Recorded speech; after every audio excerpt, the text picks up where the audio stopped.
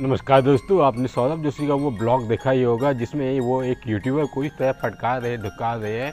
जैसे मानो वो वीडियो बनाने साथ में नहीं आया कोलेब्रेशन करने नहीं आया बल्कि उसके साथ चोरी करने आया है मारपीट करने आया है। दोस्तों, ये आदत बहुत ज़्यादा ख़राब लगती है जब आप किसी के साथ मिसबिहेव करते हैं। दोस्तों सौरभ जोशी को भी सबसे बड़ा यूट्यूबर आप लोगों ने ही बनाया है ऑडियंस ने ही बनाया है। जब उसी ऑडियंस के साथ, उसी व्यूवर्स के साथ कोई मिसबिहेव करे तो ये बहुत ज़्यादा गंदा लगता है। मानता हूँ मैं कि हर किसी की अपनी लाइफ होती है, जिसमें लोग बिज़ी रहते हैं। लेकिन दोस्तों इसका ये मतलब कतई नहीं होता कि अगर छोटे क्रिएटर आपसे मिलने आते हैं तो आप उसके साथ मिसबिहेव करो।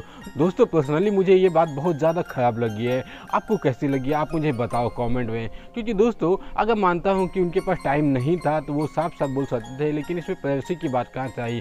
क्या सामने वाला यूट्यूबर जो गया उससे कोलेब्रेशन करने, मिलने के लिए गया मीटअप करने के लिए गया तो वो उसकी प्राइवेसी की जानकारी दे रहा था? बिल्कुल नहीं दोस्तों। और वैसे भी दोस्तों, एक ब्लॉगर की कोई प्राइवेसी नहीं होती, क्योंकि वो अपने ब्लॉग में सब कुछ तो दिखा नहीं देता है। ये मेरा बेडरूम है, ये मेरा घर है, ये मेरी गर्लफ्रेंड है, ये मेरी मम्मी है, ये मेरे पापा है, ये मेरी वाइफ है, सब कुछ तो दिखा ही देता है। फिर प्राइवेसी की बात कहाँ से हुई?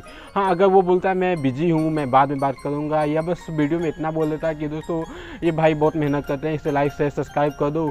तो दोस्तों, कोई बात नहीं है लेकिन इस तरह से उसके साथ मिसबिहेव करना बहुत ज़्यादा गंदा बात है। तो दोस्तों, इस वीडियो में बस इतना ही। अगर आप सौरभ जोशी की बात से सहमत नहीं है तो इस वीडियो को शेयर करो ताकि ये बात उन तक पहुँच सके कि उन्होंने जो भी किया, गलत किया है। और दोस्तों, वीडियो पसंद आए तो इसे लाइक शेयर और सब्सक्राइब कर दो।